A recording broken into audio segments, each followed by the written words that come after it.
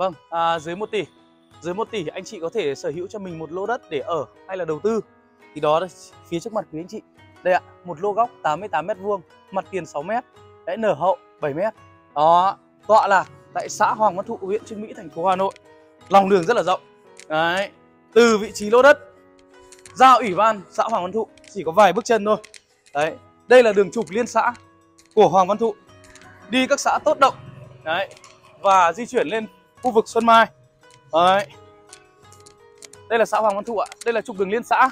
Trục đường liên xã của Hoàng Văn Thụ Thì sắp được khởi công trong năm 2023 Đấy, nên quý anh chị và nhà đầu tư mà đầu tư cho mình một lô đất, lô góc rất là đẹp và tiềm năng như thế này, Có thể kinh doanh nhỏ lẻ Thì hãy liên hệ em, Thành Đông Đô Cảm ơn anh chị.